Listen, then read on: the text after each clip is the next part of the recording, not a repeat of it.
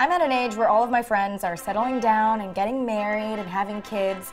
And every time I hear the news, I'm getting married, though I say, congratulations, all I can think is, What's wrong with me? Why isn't anyone proposing to me? I've never been proposed to before. What if I die alone? What if no one ever wants me in the end? Maybe I should be a feminist and propose to my boyfriend. No, that's weird.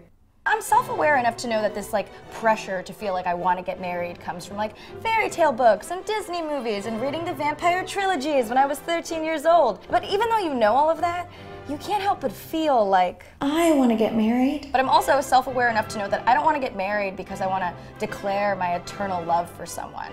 No, I just want to get married because I want the party.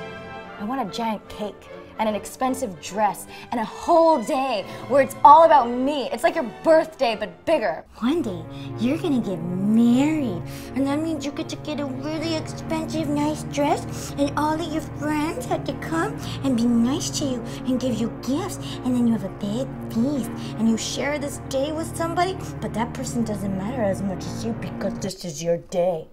And it's kind of weird because when you think about actual marriage, that you're gonna settle down with someone and spend your entire life with them, it seems really dumb to get married after only knowing someone for a couple of years, right? You should spend a lot of time with that person so you know that you can tolerate each other. I want to kill you, but I won't.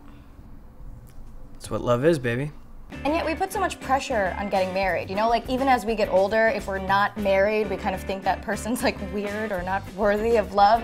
And like I haven't fully decided like whether or not I want to get married. Because you know, there's that whole debate of like whether or not monogamy is even feasible in today's world where we're gonna live till a hundred. I'm at an age where all of my friends are settling down and getting married and having kids.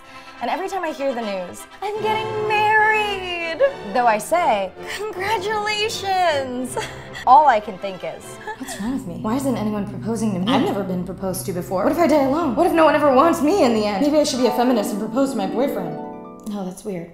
I'm self-aware enough to know that this like pressure to feel like I want to get married comes from like fairy tale books and Disney movies and reading the vampire trilogies when I was 13 years old. But even though you know all of that, you can't help but feel like I want to get married. But I'm also self-aware enough to know that I don't want to get married because I want to declare my eternal love for someone.